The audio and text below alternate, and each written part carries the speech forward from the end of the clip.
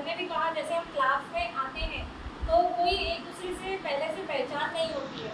तो मेरे लिए सबसे बड़ी बात ये थी कि this is my first year in this school तो अ, शायद वैसे अगर नॉर्मल हम देखते तो मुझे टीचर से इंटरेक्ट होने में बहुत ज़्यादा टाइम लगता बट मूल्यवर्धन वर्कशॉप की वजह से आज मैं बीएमजी के टीचर से और अपने स्टाफ से पूरा इंटरेक्ट हुई हूँ thanks to both of you and thanks to respected sir and our principal ma'am and जब हम छोटे थे तो तब हम बच्चे थे तो हम टीचर की फीलिंग्स नहीं समझ पाते थे कि टीचर चिल्लाते हैं तो क्यों चिल्लाते हैं?